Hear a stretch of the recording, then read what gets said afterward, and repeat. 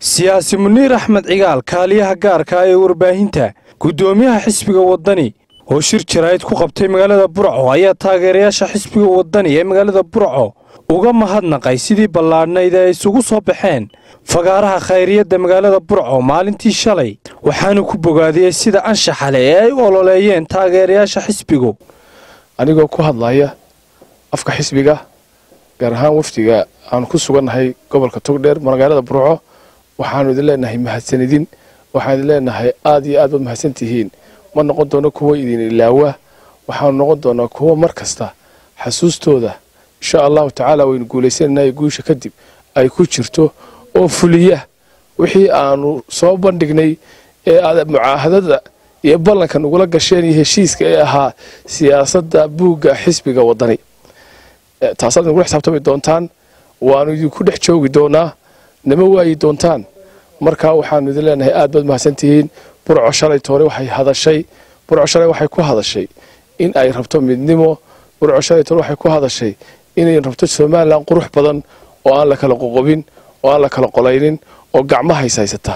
Waxaad arkayseen waxaanu lugaynay in ka badan shan kilomitir oo runtii aanu waddada gasha garoonka kubadda cagta ee hormarta dhinaca baarsigo dhinaca ka marta ciddii reer burcahina way garanaysaa ciddii kale kole somalilan hina googolka ka eegi kartaa xalqadii halkaa maraysay runtii iyo dhammaan laamiyada kale iyo sidii magaaladu banaanbaxaas ay u gashay runtii u soo wada baxday. Waxay noqotay wax shucuurta somalilan oo dhan wax ka bedesha taasaa mutaysatay inaan anaguna aanu ka mahad celinno. Waxaanu leenahay fariintayda halkan ka daray ay tahay walaalayaal shacabka reer togdheer shacabka reer burco. Waxaan idin faraynaa gaar ahaan taageerayaasha xisbiga waddani inaad nabadgelyada ilaalisaan ciidamada booliska la shaqaysaan waa nasiib darro oo waa foolxumo in xisbigii kulmiye marka uu boqolkiiba labaatan wax ka badan burco ka waayey oo uu markii hore ahayd meelaha uu beenta ka sheegi jiray inuu abaabulo dhallinyaro fawdo sameeya oo qas sameeya si isku dhaco yimaado oo naco yimaado.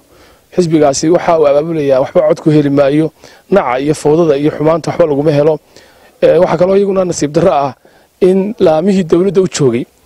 Marka laga reebo ciidamada bilayska waan ammaanayo intii taalkooda ah hadday tahay guddoomiyihii gobolka oo ku dhex milmay xisbiga kulmiye ololihiisa iyo hadday tahay kuwii degmaduba ay iyaguna kala shaqeeyaan nabadgelya darrada.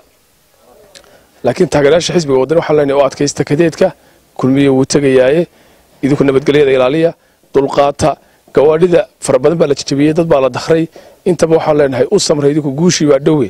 Waa rafadkii ugu dambeeyey kulmiya rafanaye rafadkaas oo adkaysta nabadgelyada aynu ciidamada kala shaqayno guud ahaan jamhuuriyadda somalilan gobol kastoo ay joogaan taageerayaasha xisbiga waddani taasay faran waxaa kaloo uu siyaasi muniir axmed cigaal ka hadlay doorashada la filayo inay dhowaan ka dhacdo dalka. Doorasho wanaagsan oo hufan oo walaaltinimaha inay inoo dhacdo ayaa cid walba somalilan joogtaba waddana doorashooyinka uma gelayno hebel ku bedel hebel. Laakiin waxaanu gelaynay nolol wacan iyo mustaqbal wacan iyo hogaamin saxa dalkeennu uu ka helo. Ta kulmiya uu wada taa maaha waddani tuu wadaa taas ah. Waxaanu leenahay waar ammaankana aynu ka wada shaqayno hadallada xanafta lena aynu iska dayno.